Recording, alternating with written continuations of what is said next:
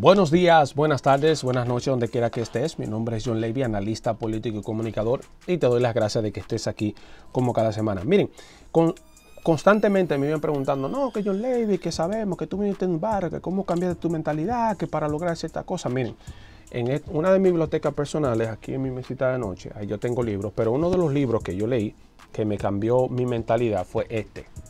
Poder sin límite de Tony Robbins. Te lo recomiendo. Un gran libro. Tengo varios libros de Tony Robbins muy buenos. Pero yo entiendo. Hay alguien que me dice, no, que a mí no me gusta leer. A mí no me gustaba leer. Pero me gustaba menos ser pobre. Me gustaba menos estar de guañangao. Y cuando puse a comparar entre estar de guañangao, de mm, vomitando la sangre, y leer, dije, coño, yo prefiero leer. Gracias a Dios, eh, la lectura fue cambiando mi manera de pensar y eso me ayudó a llegar a un siguiente nivel en la vida. Y hoy, gracias a Dios y a ustedes, tengo la posibilidad de vivir lo que me gusta. Y agradeciendo eso, estoy regalando 100 dólares todas las semanas. Sí, todos los sábados estamos regalando 100 dólares para nuestros suscriptores que nos hacen el favor de estar suscritos a mi canal de YouTube, que comparten mis videos, que le dan like y que comentan mis videos. La manera de nosotros, yo y mi equipo, agradecer a esas personas que me hacen ese favor de estar aquí conmigo es eso. 100 dólares toda la semana. No importa en qué parte del mundo estés. Te lo enviamos por Vimencan, por tu cuenta de banco, por, PayPal, como entienda. Pero vamos a estar, estamos regalando ya esta semana, hubo el primer ganador, 100 dólares para todas las personas que estén suscritos a mi canal de YouTube den like a mis videos, comenten y compartan. Así que suscríbete. Y hoy vamos a estar analizando dos noticias importantes que es la posibilidad de la inclusión de un latino, de un latinoamericano, a la gobernación de New York. Ese es lo primero. Y lo segundo, analizar brevemente lo que está pasando con el gaga en República Dominicana y su prohibición. Así que quédate hasta el final del video para que respondas a la pregunta de esta semana. Mi nombre es John Levy, esto es Político.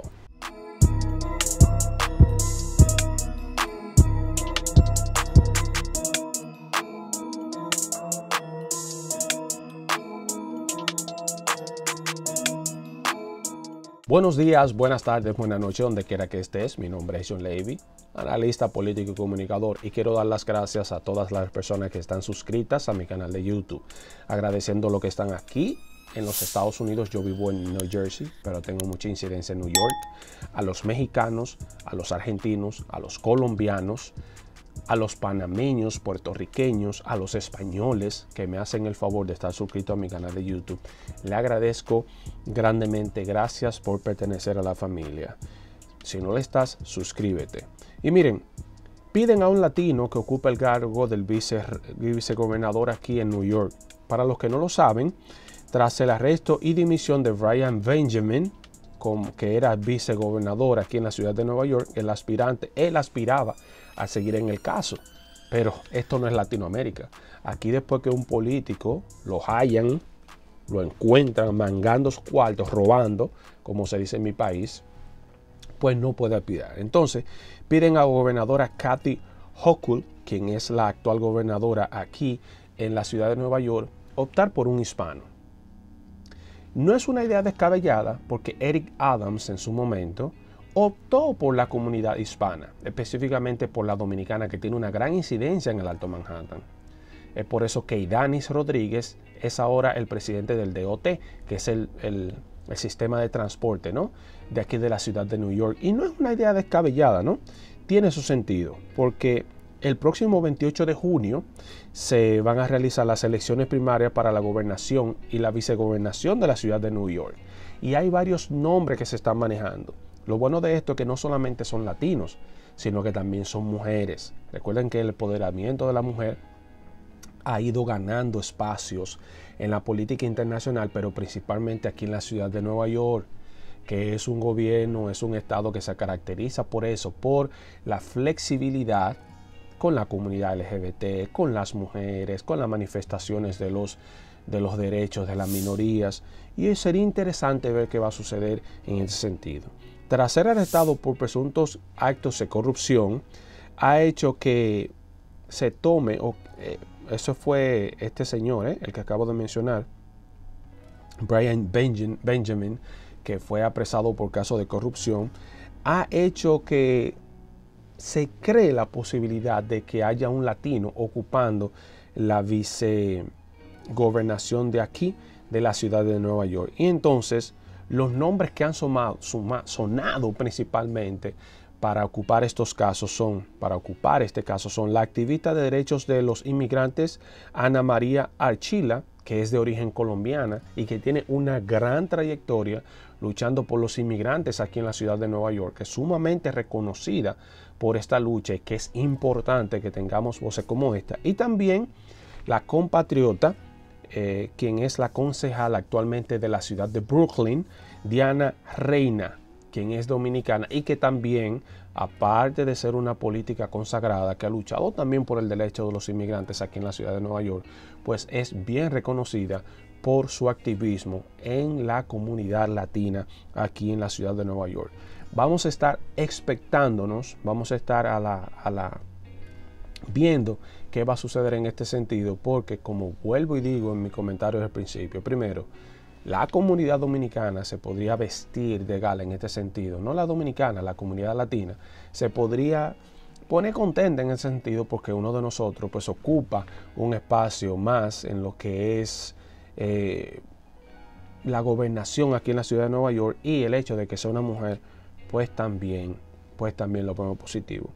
Y hablando de derechos, en República Dominicana en estos momentos ocurrió algo en, Santo, en San Pedro de Macorís específicamente, y es que la gobernación, o no gobernación, allá se llama es el síndico, o el síndico, sí, el síndico municipal de la ciudad de San Pedro, prohibió fiestas de gagá. Y estos prohibieron fiestas de gagá por cosas como esta, por ejemplo. Vamos a ver este video.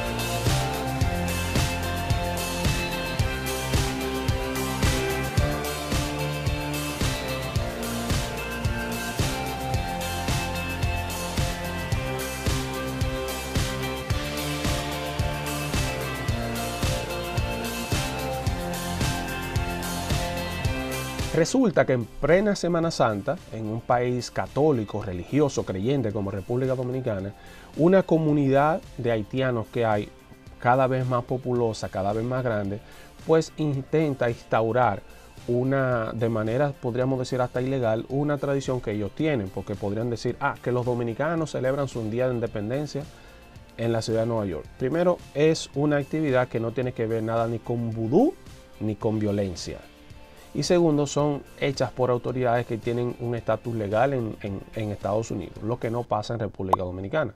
Lo primero es que por personas que no tienen un estatus legal en República Dominicana. Lo segundo es que es una tradición que choca directamente con las creencias y tradiciones dominicanas, porque el vudú, el gagá, tiene que ver más que con, con el vudú y con actos violentos. Y lo tercero, que es por lo que se queja principalmente el alcalde de la ciudad de San Pedro de Macorís, es que se producen actividades violentas, suciedades y rompen propiedades del erario público y después nadie paga. Porque lamentablemente muchos de esos haitianos no tienen un estatus, ellos no saben quiénes son, dónde están y es la mayor queja. Habían unos 28 comparsas o carrozas de vudú y de gaga esas cosas, lo que hace reducido a dos, y estos se quejan, pero, pero con su todo derecho, las autoridades de San Pedro de Macorís dicen que no van a permitir este tipo de, de actividades en esta ciudad, porque primero es peligrosa para los eh, que viven en esta ciudad, segundo, es hecha por personas que viven en los batalles, que usted no sabe quiénes son y dónde están. Y tercero, el ruido y el sucio que se produce en la ciudad de eh, San Pedro de Macorís por estas personas. Nosotros entendemos, como inmigrantes, yo entiendo lo siguiente. En cada país que uno está, para uno poder convivir en este país, tiene que respetar las leyes y costumbres de ese país. Si usted no tiene el deseo de respetar las leyes y costumbres de ese país, pues lo mejor es que a lo mejor usted no puede convivir con la persona de ese país y lo que usted tiene que hacer es pues entonces irse a su país. Yo en Estados Unidos respeto las leyes, nunca he tenido ningún inconveniente con las leyes, respeto las leyes de este país y soy, trato de ser un ciudadano igual o más respetuoso que los mismos estadounidenses. ¿Por qué? Vuelvo y lo digo, como he dicho en muchos videos. Porque yo vine a este país, a mí nadie me llamó. Yo decidí venir a, a, vivir a este país. Muchos dicen, no, que los dominicanos no quieren saber de los haitianos. No, yo soy uno de los primeros que deseo que le vaya bien a Haití. Haití es un país que colinda con República Dominicana y si a ellos le va bien, pues los haitianos no tendrán el deseo de emigrar a República Dominicana. Es como Trump dijo una vez, y en esto él tenía sentido, si los políticos de nuestro país no fueran tan corruptos, pues nosotros no tendríamos, o no hicieran tan mala gestión, pues no tendríamos nosotros la necesidad de emigrar. Porque yo no voy a decir lo contrario. Yo emigré de República Dominicana porque República Dominicana en su momento, una corrupción muy alta, yo no tenía los medios para desarrollarme como profesional y decidí emigrar. Por eso entiendo que muchos haitianos emigran de Haití también. Pero la respuesta no es incitarlo a que abandonen su país. La respuesta es tratar de que ellos tengan un mejor estatus en sus propios países, que haya un mejor gobierno en sus propios países y así ellos no van a tener la necesidad de emigrar. Por eso, los primeros que queremos que le vaya bien a los haitianos somos nosotros los dominicanos como país. Pero nada, llegamos al final de este video. Te agradezco a ti que me hayas acompañado hasta el final de este. Recuerda suscribirte a mi canal de YouTube, da like, compartir mi contenido y comentar para que puedas ganar 100 dólares. 100 dólares como cada semana. Si tienes alguna pregunta, abajo en la descripción está mi número de teléfono y si quieres ver las imágenes que comparto en mis videos pero sin censura, recuerda, también están mis grupos de Telegram, de WhatsApp ahí abajo. Suscríbete para que recibas todas estas informaciones todos los días. Mi nombre es John Levy, analista político y comunicador. Buenos días, buenas tardes, buenas noches, donde quiera que estés. Un abrazo grande y hasta pronto objetivo de este canal es analizar los acontecimientos sociales y políticos de manera diferente, a tu estilo. Si te gustó el video, por favor, apóyame en Patreon para seguir haciendo contenido de calidad. Eso me ayudaría muchísimo. El link está en la descripción. También Puedes aportar compartiendo, comentando y suscribiéndote a mi canal. Es totalmente gratis. Y si quieres que estemos en contacto, por favor, búscame en las redes sociales como John Levy. Buenos días, buenas tardes, buenas noches, donde quiera que estés. Mi nombre es John Levy, analista político y comunicador. Un abrazo grande y hasta pronto.